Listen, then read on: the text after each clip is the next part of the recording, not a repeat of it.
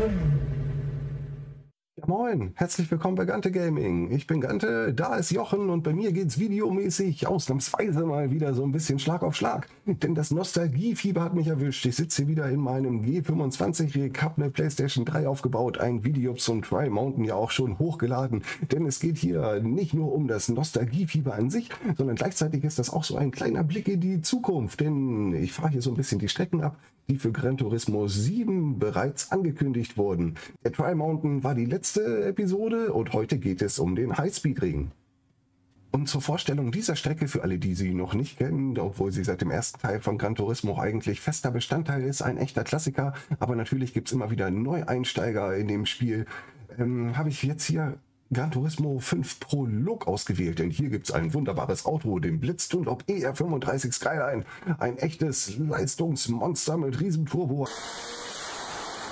eigentlich aus dem Driftsport zum Rennenfahren überhaupt nicht geeignet, aber auf dem Highspeed-Ring wird es wohl gehen. Denn der Name ist Programm, die Strecke ist ziemlich schnell, geht relativ viel Vollgas oder zumindest mit Banking und da kriegt der Blitz hier auch seine Leistung auf die Strecke.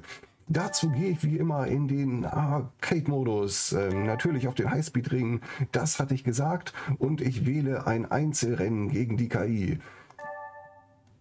Dazu die KI natürlich auf volle Kraft. Fünf Runden werde ich mir hier gönnen. Alle Fahrhilfen auf aus, soweit das geht. Die mittleren Reifen sind hier die weichsten gleichzeitig, die es gibt. Ganz weiche gibt es nicht, aber harte und super harte. Naja, hätte man auch irgendwie anders benennen können. Aber ich bin ja nicht der Entwickler. Ich bin hier nur zum Fahren und ich muss sagen, an den alten Gran Turismo Teilen habe ich doch zurzeit wieder relativ viel Spaß. Mit Gran Turismo 5 Prolog hat das ganze Elend so ein bisschen angefangen. Zum ersten Mal gab es wirklich online Online-Rennen live gegen Menschen ohne großen Aufwand quer über die Welt und auch Ranglisten für Online-Time-Trades. Denn eigentlich komme ich aus dem Hotlap-Sport, habe Ende 2007 damit angefangen bei, zwei, bei Gran Turismo 4. Da war das echt so mega umständlich, sich irgendwie Replays anzugucken, Ranglisten zu erraten, zu erstellen, wie auch immer. Das haben wir damals irgendwie über ein Forum gemacht. Das gibt es auch heute noch, den Gran Turismo Racing Point. Und wie gesagt, mit Gran Turismo 5 Prolog wurde das alles also endlich mal ein bisschen komfortabler. Und dazu hatte das im Online-Modus eigentlich echt ein ganz cooles System. Man sieht da unten gerade, wie die Leistungspunkte hochgerattert sind. Ich habe den hier auch leistungs- und gewichtsmäßig so weit aufgedreht, wie es geht. Aber eben jeder Parameter, den man hier im Schnelltuning einstellt, sieht man äh, verändert eben die Leistungspunkte. Das, ja, so ein ähnliches System gibt es natürlich bei Gran Turismo Sport auch mit den N-Klassen, N300 bis 1000, ähm, wie auch immer. Allerdings richtet sich das rein nach PS-Zahl. Und hier verändert eben nicht nur Leistung und auch Gewichte diese Leistungspunkte, sondern auch die Reifenauswahl und auch die Aerodynamik. Also wenn man jetzt zum Beispiel ein Online-Rennen gefahren ist, 500 LP El Suzuka, dann hatte man immer die Wahl. Nehme ich jetzt irgendwie den NSX auf Sportreifen oder den Clio V6 auf Rennen Rennreifen packe ich mehr oder weniger Aero drauf, vielleicht harte Reifen nach hinten und weiche nach vorne, wenn das Auto eine gute Hinterachse hat. Also da gab es super viel Spielraum, das hat mega Bock gemacht. Ähm, allerdings keine privaten Lobbys, das war so das einzige Manko. Aber bevor ich jetzt hier irgendwie weiter schnacke, geht's erstmal ab auf die Strecke. Und dazu, weil die KI hier doch relativ schwach ist und nicht, weil ich irgendwie arrogant bin, werde ich die auf Start und Ziel erstmal alle so ein bisschen an mir vorbeiziehen lassen denn sonst hat man hier nach zwei Runden äh, nichts mehr zu tun und ich glaube, ich habe äh, für fünf Runden auch genug zu erzählen. Die Runde dauert auch nicht so lang, weniger wegen der Länge, sondern vor allem wegen dem Highspeed. Ähm, ordentlich Respin im zweiten Gang, den, äh, hier die, den Ladedruck sieht man rechts und dann geht es mal ab auf die Bahn. Der Highspeed-Ring sieht eigentlich aus wie ein Oval mit Infield, aber eine Oval-Variante davon gibt es nicht. Das Infield ist immer fest mit dabei und die Strecke, wie gesagt, seit dem ersten Teil auch Bestandteil von Gran Turismo.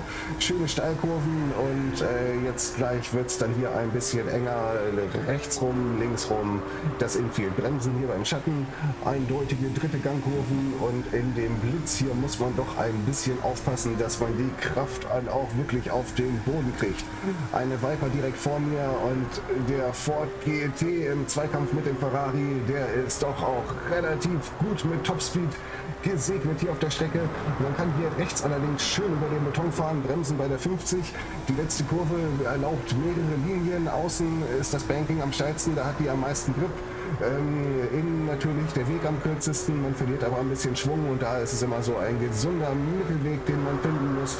Im Windschatten vorbei an dem News S2000 Turbo und dem nächsten Ford GT und die Kurve jetzt hier mit ordentlich Banking geht aber nicht ganz voll am Ende des hellen Asphaltbandes, man leicht aus dem Gas und ja, mit 280 oder 290 kann man die ganz gut durchfahren. Dann kommt jetzt hier ein orangenes Schild bei der 100 Bremsen zweimal runter. Auch hier gilt, man muss nicht komplett an den Scheitelpunkt, da wird die Strecke halt ein bisschen flach. Ähm, da kann man auch ruhig ein bisschen weiter außen bleiben. Hier ist Infield hier, dritter Gang, haben wir eben schon gesehen. Und als Gran Turismo 5 Prolog dann hier mal rauskam, ich hatte es gesagt, mit den Ranglisten und dem Online-Modus war das wirklich revolutionär. Aus dem Hotlap-Sport bin ich äh, aufgewachsen, habe für zwei Jahre trainiert und war dann hier zu dem Zeitpunkt quasi auf dem Höhepunkt meines Schaffens oder meines fahrerischen Talents. Und tatsächlich ist es mir gelungen, auf eben dieser Strecke hier, deswegen habe ich Gran Turismo 5 Prolog auch gewählt. Ich hätte auch Teil 5 oder Teil 6 nehmen können, völlig egal.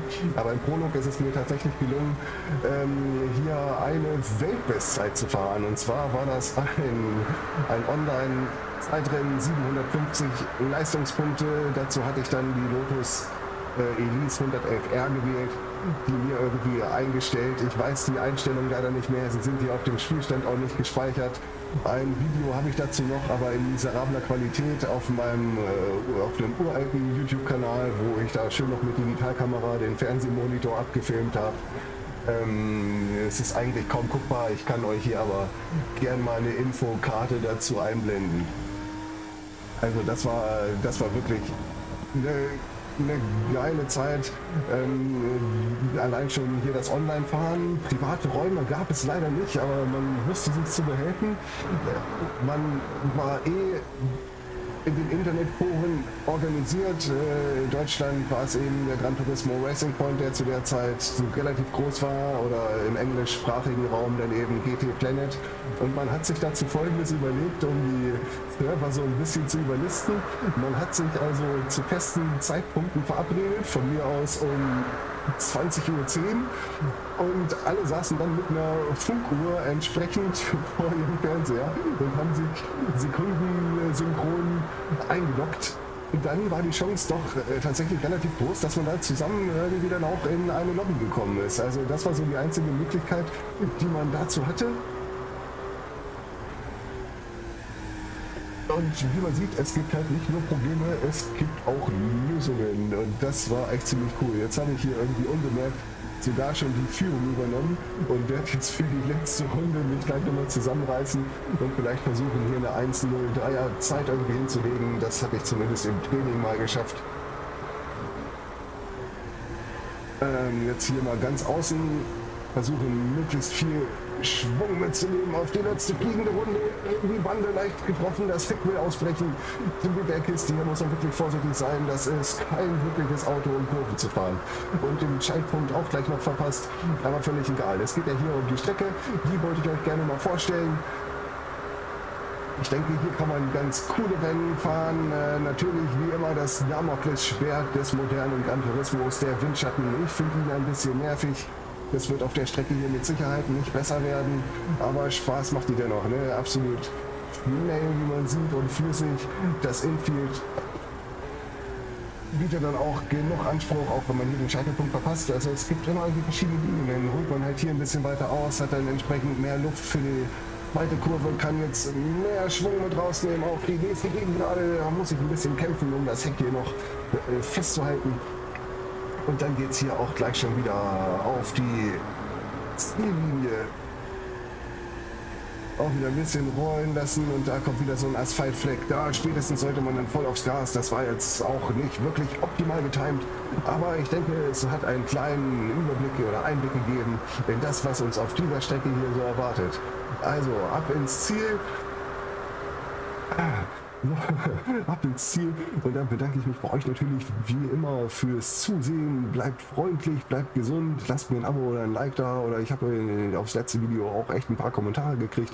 Ist immer schön, wenn man irgendwie eine Rückmeldung hat und äh, euch das gefällt, was ich hier so hochlade. Ich weiß, ich habe irgendwie eine kreative Pause eingelegt, aber das, was jetzt hier gerade läuft, das ist zwar alles Kabel als Urgroßvater jetzt hier gerade mit drei Konsolen, zwei Rigs, äh, Webcam, LED, Mikrofon, hast du nicht gesehen. also schön sieht es nicht aus. Ihr kriegt das auf dem Bild zum Glück nicht mit. Also nochmal vielen Dank, bleibt freundlich, bleibt gesund und bis zum nächsten Mal.